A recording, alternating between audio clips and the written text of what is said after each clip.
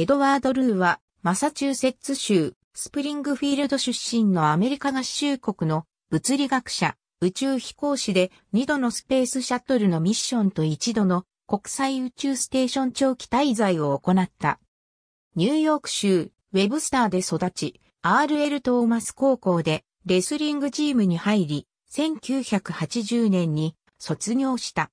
コーネル大学でもレスリングで表彰を受け、電子工学の学位を取って卒業した。1989年には、スタンフォード大学で応用物理学の博士号を取得した。コーネル大学では、パイカッパファイフラタニティに所属した。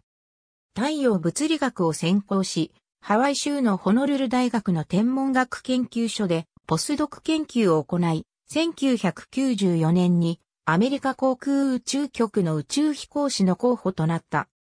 1997年の STS-84、2000年の STS-106 で宇宙を訪れ、国際宇宙ステーションの組み立てのために6時間の宇宙遊泳を行った。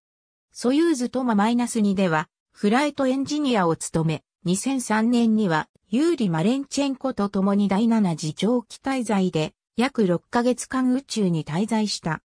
NASA においては、2015年までに地球との衝突を回避するため小惑星の軌道を変えられるようになることを目指す非営利組織 B612 財団を設立した。